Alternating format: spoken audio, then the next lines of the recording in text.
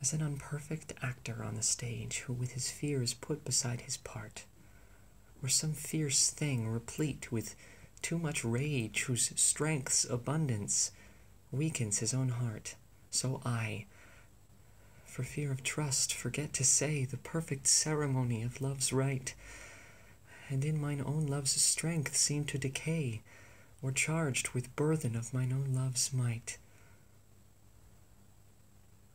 Oh, let me be then the eloquence and dumb presagers of my speaking heart, who plead for love and look for recompense more than that tongue that more hath more expressed.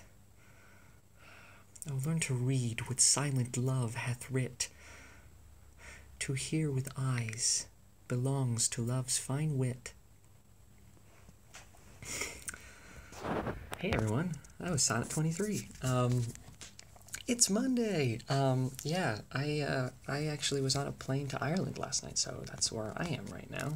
Um, I'm uh, I'm here for for work for a week, um, and so I uh, I wanted to get this done as soon as I could, though. So uh, yeah, so that was Sonnet 23. I'm gonna keep this video kind of short though, because I have to run to dinner. Um, but uh, but yeah, this one was kind of it grew on me. Um, that last line is gorgeous to hear with eyes.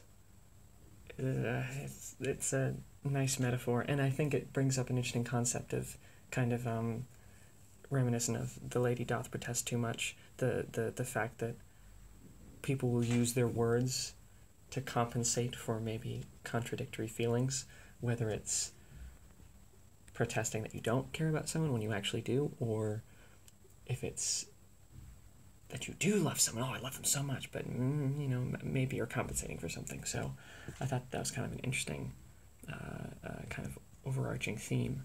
Um, and uh, yeah, it, it flow. This one flows really nicely. There's some beautiful language.